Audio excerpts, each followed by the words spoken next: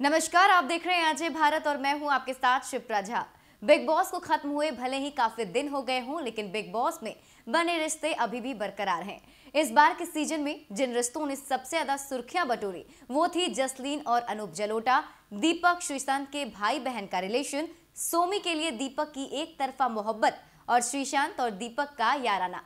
आपको बता दें कि श्रीशांत अपने छोटे भाई, यानी दीपक से मिलने के लिए मुजफ्फरपुर आ रहे हैं। श्रीसंत ने वीडियो शेयर कर ये जानकारी दी है। दीपक ने भी पोस्ट कर श्रीसंत का वेलकम किया है। नमस्ते, मैं हूँ श्रीशांत और मैं आ रहा हूँ मुसाफिरपुर। अपने छोटे भाई दीपक ठाकुर को मिलने और आप सबसे मिलने और आप सबके साथ बहुत सारे खुशियाँ बांटने। बिहार की प्यारे जनता प्लीज़ 12 फरवरी को आप सब मुसाफिरपुर आना। मैं कोशिश करूँगा कि आप सबसे मिलके बहुत बहुत बहुत मस्ती करें। लव यू ऑल 12 फरवरी भूला नहीं 12 फरवरी। जय माता दी, सबसे मिलेंगे। इंशाल्लाह।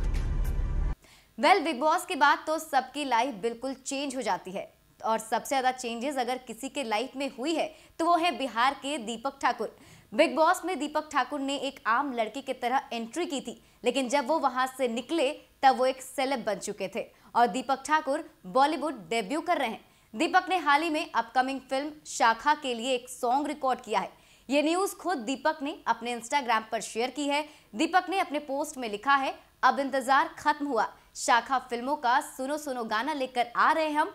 6 फरवरी को आपके पास अपने चैनल दीपक ठाकुर से। Love you all singer Deepak Thakur और Anusha Sanna.